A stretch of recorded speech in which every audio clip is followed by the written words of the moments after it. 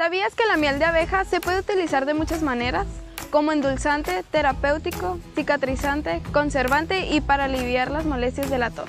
En Plantel Compuertas ponemos a la venta nuestra miel de abeja 100% natural, producida en nuestros apiarios de manera orgánica y artesanal. Una rica fuente de energía. Úsalo como más te guste. A solo 50 pesos, llévate tu frasco y apoya nuestro colegio. Miel de abeja CCTBC de venta en la dirección de Plantel Compuertas. Tras dos semanas de operativo, este lunes 15 de enero, personal de bomberos de Tijuana y Ensenada extrajeron los restos humanos que fueron localizados en una fosa clandestina de casi 20 metros de profundidad en un rancho abandonado en Valle de la Trinidad.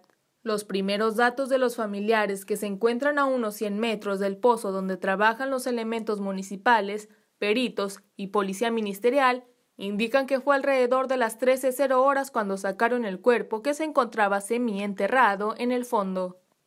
Describen como un olor insoportable el que se respiraba a todo alrededor del rancho ubicado en las inmediaciones del cerro Las Chichis.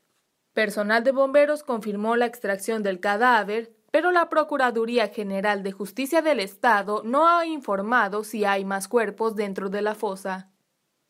La Comisión Estatal de Derechos Humanos se encuentra en la zona para dar asesoría a familiares que tienen personas desaparecidas, las cuales se encuentran en el lugar con la finalidad de identificar a sus seres queridos.